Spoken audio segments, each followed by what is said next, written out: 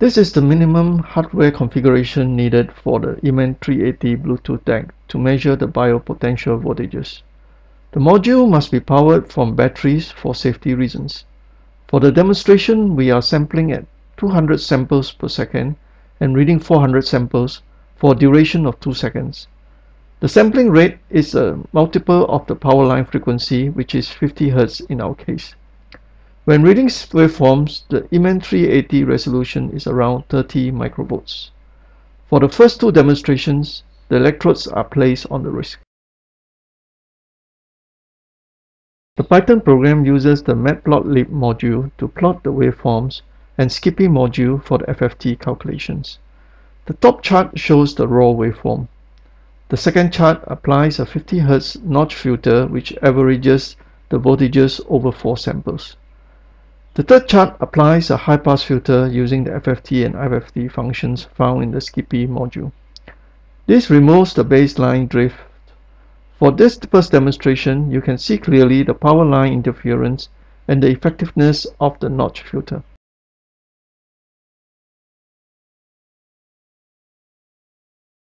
One advantage of using the Bluetooth module is that it is battery powered and operates at a low and safe voltage. Another advantage is that you can easily move to another location where the power line interference is less as is shown in this demo.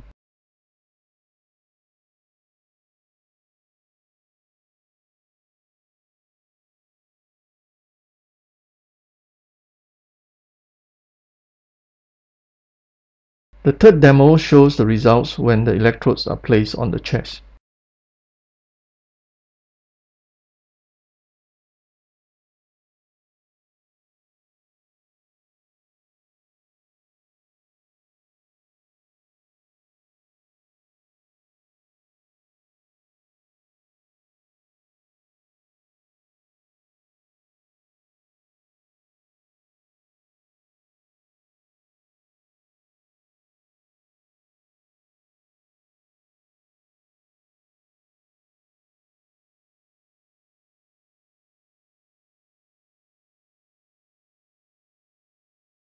This demo shows the results when handheld electrodes are used.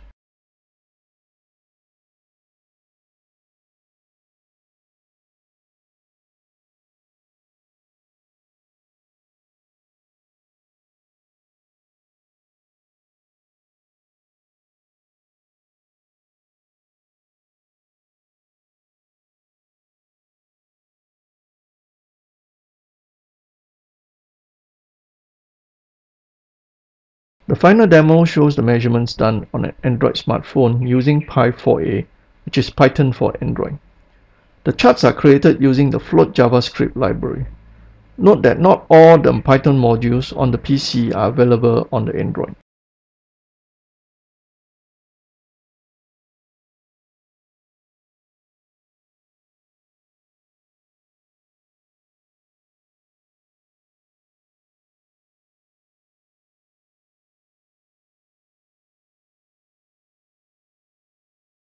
The handheld electrodes presents the possibility of novel non-intrusive heart rate monitoring.